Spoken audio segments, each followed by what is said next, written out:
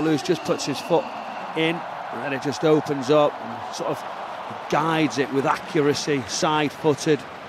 You can't dangle a leg at this sort of level. Young Rico Lewis, and that's what happens. You get punished into that far corner, and it's a, it's a wonderful individual goal.